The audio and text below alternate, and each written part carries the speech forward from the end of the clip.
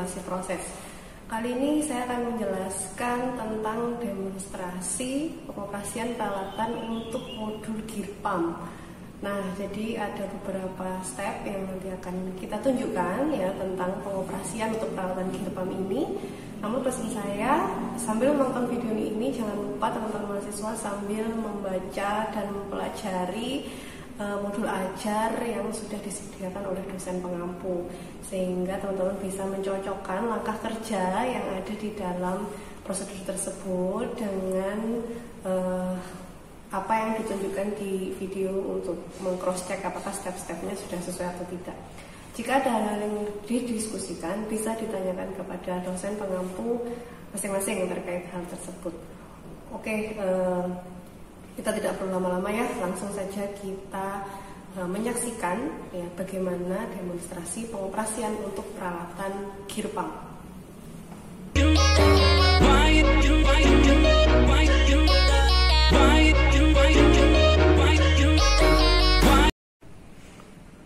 Baik, sebelum kita menunjukkan demonstrasi pengoperasian peralatan gear pump FM52, saya akan menunjukkan eh, bagian-bagian dari peralatan yang ada di modul gear pump ya. Yang pertama ada ini adalah seperangkat peralatan FM52 untuk simulasi gear pump. Di alat ini dilengkapi dengan reservoir penampung, tangki penampung. Kemudian dilengkapi juga dengan gear pump Nanti saat peralatannya bekerja putaran gearnya akan terlihat bisa dilihat ya. Kemudian di sini dilengkapi ada tiga sensor. Yang pertama ada sensor suhu atau termokabel. Ini dia berfungsi untuk membaca suhu uh, air yang mengalir melalui sistem ini ya dari reservoir menuju ke pompa. Kemudian berikutnya ada satu sensor tekanan, pressure sensor di sini.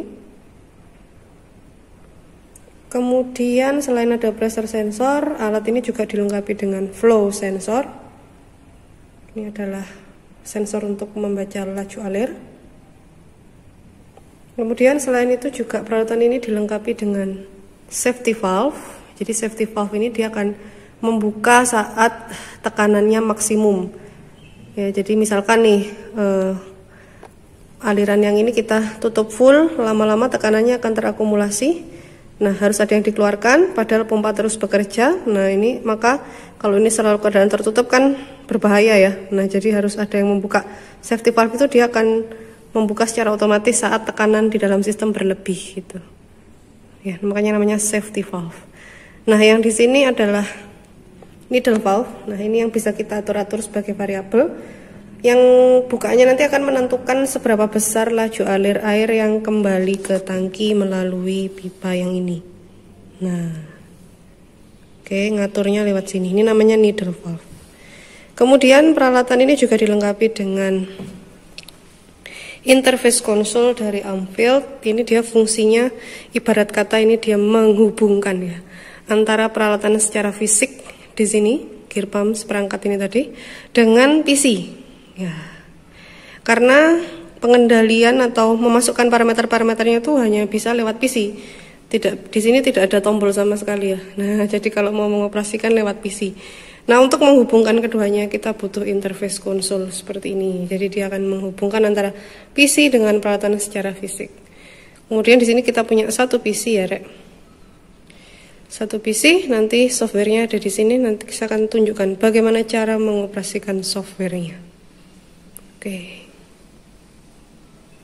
Oke, yang selanjutnya nanti kita akan langsung mencoba mendemonstrasikan peralatan gear pump.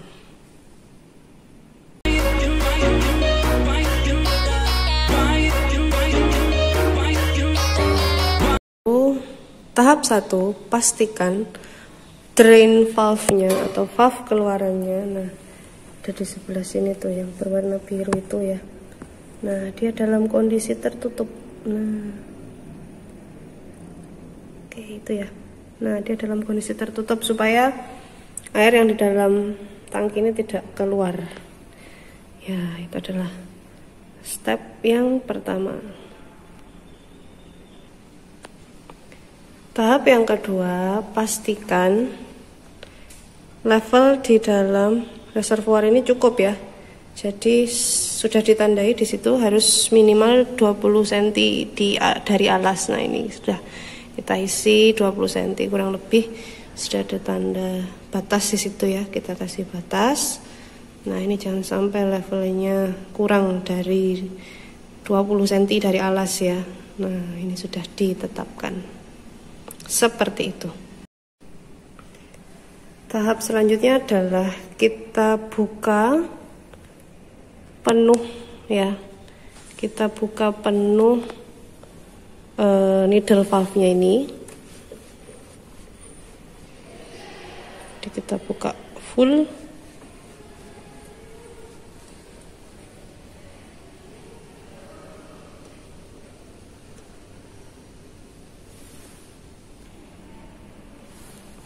memastikan lagi sudah dibuka full seperti ini ya Oke.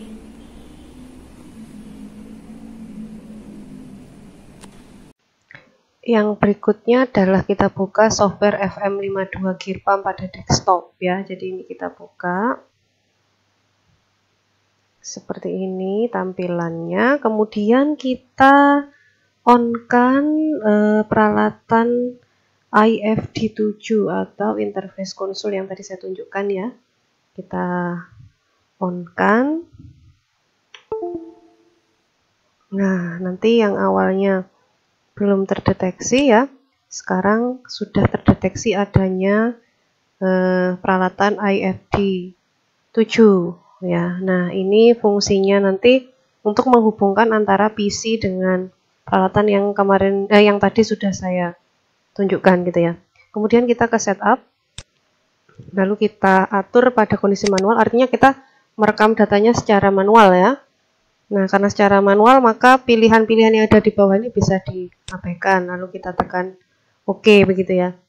Kemudian sebagai indikator juga bahwa IFD7 atau interface yang menghubungkan antara uh, konsol yang menghubungkan antara interface PC dengan peralatan secara fisik itu ditandai dengan kalau sudah bekerja ya ditandai dengan watch watchdog enable-nya di sini menyala berwarna hijau.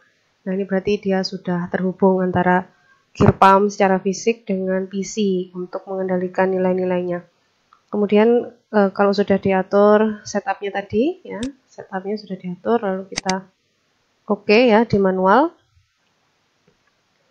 Berikutnya adalah kita atur pump settingnya pada bukaan 50 ya, kita buka 50 dulu. Sebenarnya tergantung variabel yang diberikan ya, bisa 2 bergerak antara 0 sampai 100. Nah, ini yang pertama saya kasih dulu 50, kemudian kita klik pump on. Nah, maka pompa akan bekerja.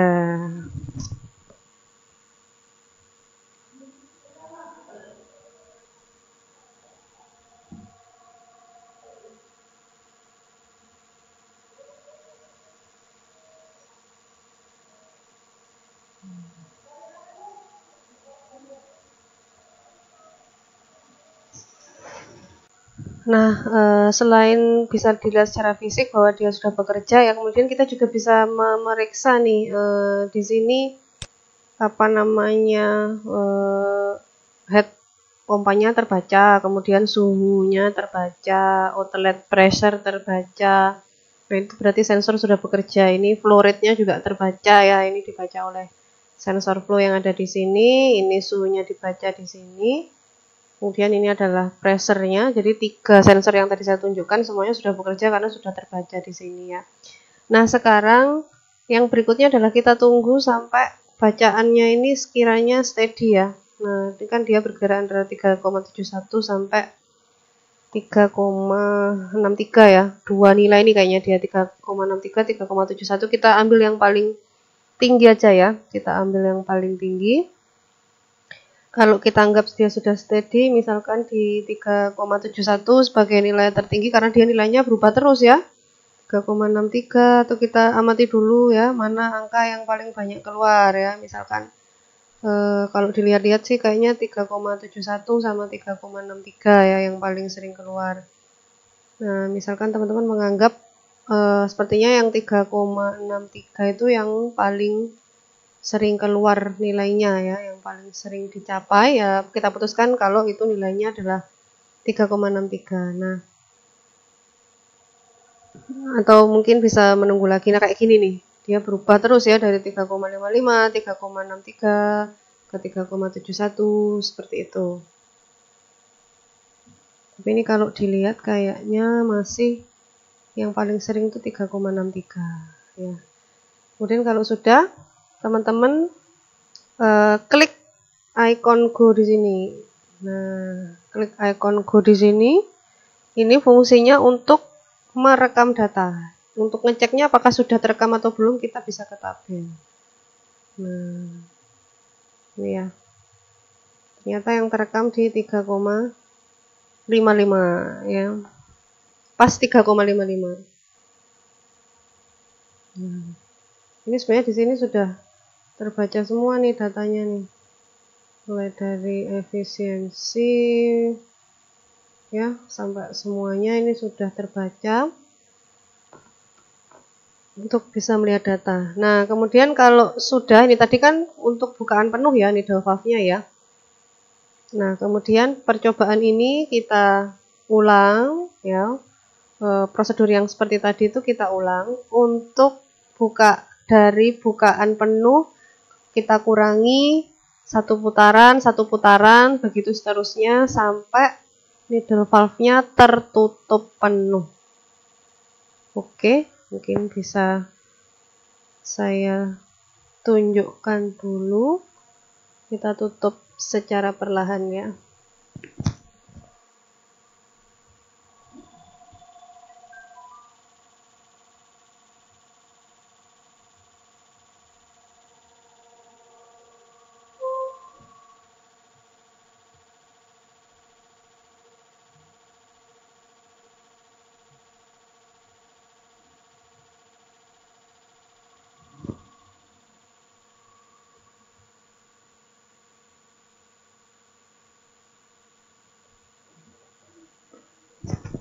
Nah, sekarang kita lihat nih, saat tertutup satu putaran, ya, apa yang terjadi dengan flow? Ya, sepertinya tidak terlalu signifikan perubahannya ya. Dia masih ada di sekitar 3,63, 3,55 begitu ya. Nah, ini kita bisa tunggu 3 sampai 5 menit ya. Sebelum kita putuskan untuk diambil datanya dengan cara klik go di sini kemudian nanti cek tabel apakah datanya sudah terekam atau belum gitu ya.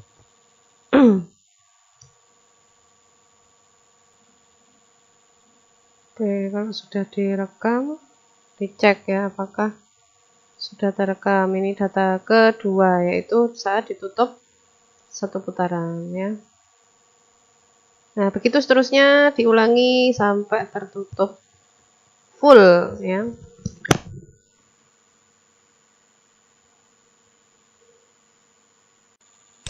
Nah, jadi eh, saat dilakukan eh, penutupan bukaan valve tiap satu putaran untuk needle valve-nya, kemudian datanya kita himpun, nah kemudian kita akan dapat data seperti ini. Nah, kemudian pengambilan data seperti tadi itu kita ulangi, tapi dibalik. Awalnya tutup full, kemudian dibuka full dengan tiap intervalnya itu satu putaran.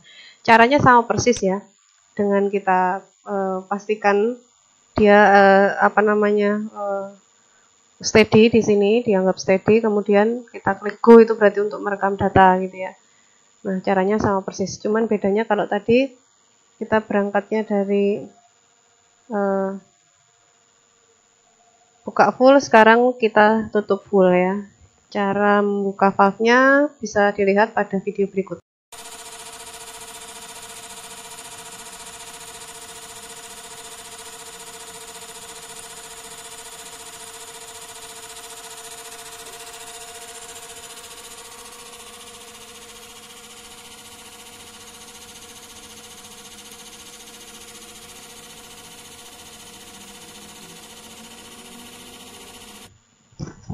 Nah, eh, ini diulangi untuk tiap bukaan satu putaran. Begitu seterusnya sampai valve-nya terbuka full.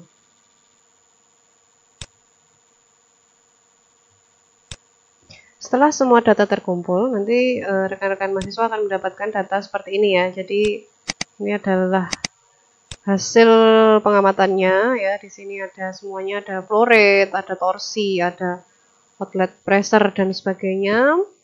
Kemudian nanti diisikan ya ke dalam tabel yang tersedia. Nah, tadi sudah diulang dari awalnya middle valve tutup full menjadi buka full kemudian dari buka full uh, menjadi oh sorry awalnya buka full ke tutup full dari tutup full kemudian ke buka full ya nah kemudian uh, ini bisa juga divariasikan kalau tadi kan kita menggunakan power set pump settingnya adalah 50 ya nanti kita bisa gunakan pump setting yang lain misalkan 30 atau 70 ya di atas 50 atau di bawah 50 dengan mengulangi langkah-langkah yang sama seperti tadi. Nah, kalau sudah, ini saya tunjukkan dulu ya bagaimana cara menyimpan datanya. Kita akan ke tabel. Kemudian ini sudah dipastikan semuanya datanya sudah cukup ya. Lalu kita save as ya. Nah, ini di save as. Save as. Nah, ini kita simpan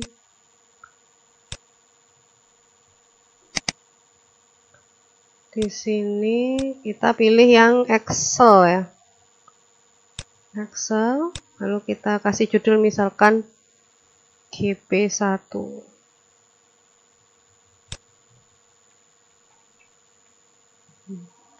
Di save ya, sudah. Nah, teman-teman bisa mencoba untuk yang lain ya. Uh, apa namanya? Uh, power pump setting yang lain. Misalkan saya kasih 30 ini yang terlihat secara fisik tentu akan ada penurunan laju alir ya. Hmm. Bukaan pump setting 30 seperti ini. Jadi tidak deras yang tadi.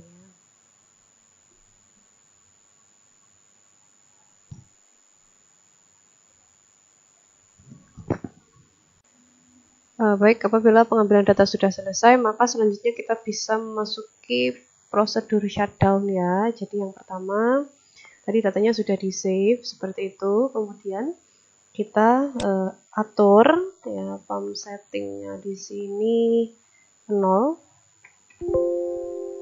Lalu pump on-nya ini kita arahkan untuk uh, off begitu seperti ini tapi watchdog enable-nya tetap aktif ya. Nah, supaya dia tidak lagi terkoneksi dengan dengan uh, isi ya, maka yang dilakukan adalah kita matikan IFD-nya. Nah, di situ nanti uh, maka IFD-nya akan terputus. Jadi yang di sini ya. BFD nya mati kemudian kita lepaskan USB ya USB IFD nya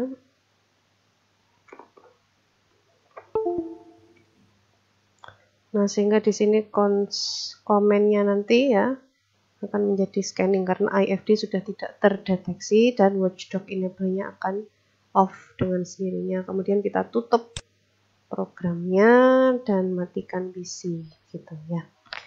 Baik, seperti itu untuk pengoperasian peralatan gear pump ya.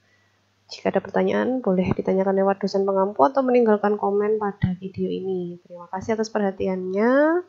Mohon maaf jika banyak kekurangan dalam menyampaikan demonstrasi kali ini.